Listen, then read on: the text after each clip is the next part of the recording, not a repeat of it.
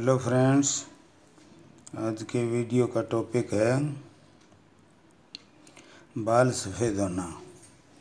देखो पचास साठ साल की उम्र में बाल सफ़ेद होना तो आम बात है, लेकिन आजकल के बच्चों में भी पाँच छः साल की उम्र में भी देखने को मिलते हैं।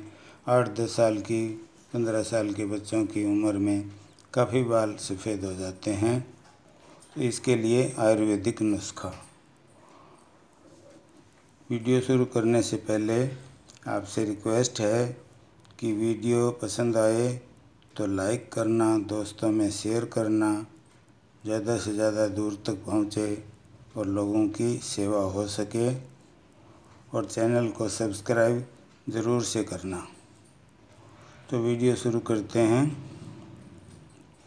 हमने 50 ग्राम सूखे आंवले लेने हैं 20 ग्राम बहेड़ा।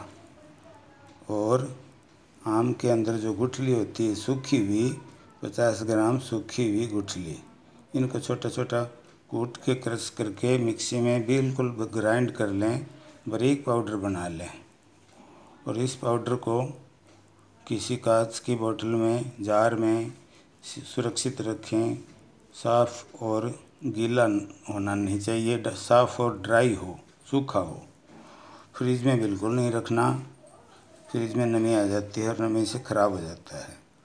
ये पाउडर बना कर रख लें और हर रोज़ रात को इसको भिगोएँ और सुबह उठ के लगा लें या सुबह भिगोएँ और रात तक इसको पड़ा रहने दें। रात को सिर के अंदर अच्छी तरह खोपड़ी में, बालों में सारे लगा कर कपड़ा बाँध कर सो जाएँ। सवेरे धो लें, ज़्यादा तेज़ शैम्पू, साबुन का यूज़ कम करें, क्योंकि बालों के सफ़ेद होने का एक कारण ये भी है कि बाज़ार में हर रोज़ नए नए तरह के शैम्पू नई नई तरह के साबुन आ रहे हैं और बड़े केमिकल इनके अंदर होते हैं जो नुकसान पहुंचाते हैं। स्किन को भी डेंड्रफ भी हो जाता है। तो इसके बाद हो सके तो दही के अंदर पानी मिलाकर, पतला करके उससे बाल धोएँ। और धोने के बाद जब सूख जाएँ तो नारियल का तेल लगाएँ। पंद्रह बीस दिन करें हर रोज़।